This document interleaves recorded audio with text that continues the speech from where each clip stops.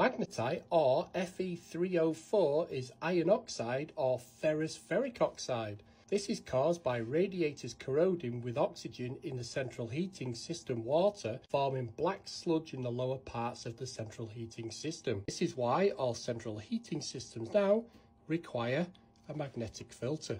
So this is how a central heating magnetic filter works. So this has got magnetite in there. We get a powerful magnet we slide it in and before your very eyes the water will start to clear and the magnet will collect the magnetite for us.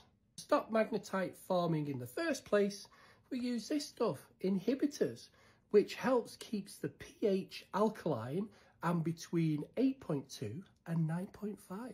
So make sure you have a magnetic filter and your inhibitors in your central heating system.